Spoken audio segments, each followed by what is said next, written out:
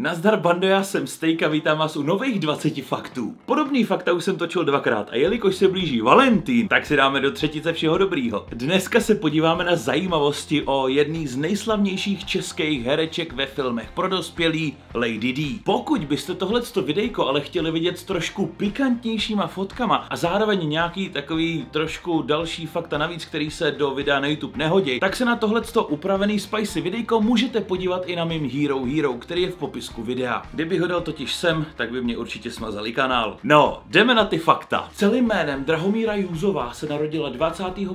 ledna 1997 v Ústí nad Labem. V 16 letech se svojí kamarádkou nafotila nahý fotky. Ty se dostaly do povědomí široké veřejnosti a když si toho všimla její matka, tak ji označila za děvku. Ačkoliv se to kvůli její branži může zdát třeba i divný, tak svůj první styk měla míň jak rok předtím a to v 17 letech. Prej to bylo z toho důvodu, že jí všechny její kamarádky kamarádky říkali, že to poprvé bude hodně bolet. Takže nakonec fakt s tím čekala až do 17. Nakonec si to rozdala se svým spolužákem a říkala, že to bylo v pohodě. Filmy pro dospělí začala natáčet už v 18 letech. V té době taky hodně rychle prorazila, protože vypadala na 15 a protože to vlastně byla nejmladší herečka ve filmech pro dospělí v Česku. By the way, my jako Česká republika jsme v tomhle tom odvětví světová velmoc. Jak už to tak bývá, tak do téhle branže se dostala i kvůli napjatým rodinným vztahům. Ty donutili opustit dům a rodinu, přestěhovala se ke kamarádovi do Prahy a ten jí tuhle tu branži vysvětlil. Každopádně Drahomíra není jenom natáčení péčka. Například po určitých těžkých událostech si k sobě vzala svého mladšího bráchu,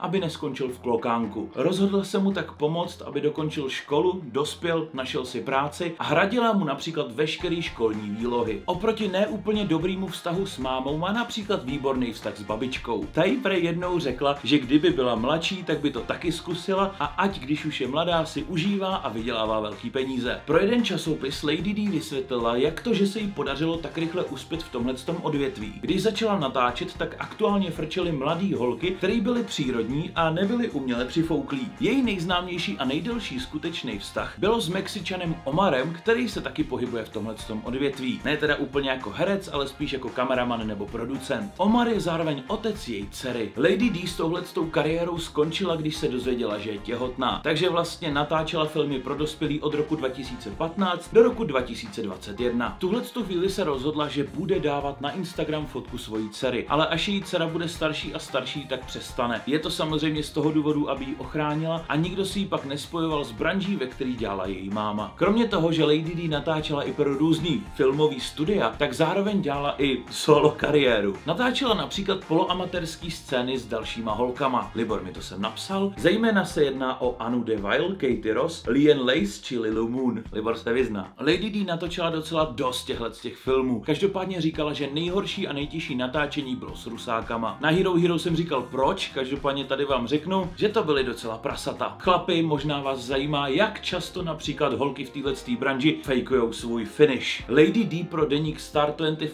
prozradila, že za celou svoji kariéru se jí povedlo vyvrcholit jenom párkrát, jinak to musela dost často předstírat. Lady D se taky hodně proslavila díky svý Facebook facebookové stránce, kam zcela otevřeně dávala, co jí zrovna napadlo, nebo co dělala ve své práci. Například tam dávala statusy, kdy to někdo při natáčení udělal ze zadu. Sama Lady D říká, že v dnešní době už se tenhle ten průmysl dost změnil. Kromě toho, že se objevila stránka OnlyFans a takovýchhle videí jsou na internetu tuny, tak pro udržení publika se tyhle ty filmy nebo videa musí natáčet čím dál tím víc náročnější a náročnější. Ty holky, co to točí, by to prej normálně nedělali, ale jelikož se tím živí, tak musí. Majetek Lady D se odhaduje na hodně přes 20 milionů korun. Pando, jak jsem říkal, pokud byste tohle videjko chtěli vidět trošku víc spicy, tak se určitě podívejte na moje Hero Hero. Pravidelně tam budu přidávat různý videa, který by mi YouTube smazal, případně by mě smazali úplně celýho. Už teď tam mám víc videí než jenom tohleto, takže na to se můžete těšit. A jednu ze sérií, kterou tam pro vás chystám a bude už příští týden, tak s Liborem jsme natočili první díl hodnocení OnlyFans. No a nezačneme nikým jiným než Kafu. Pokud náhodou nevíte, nevíte, kdo to je, tak si možná ani nevyhledávejte ty vole. Každopádně děkuji vám, že jste se podívali na tohle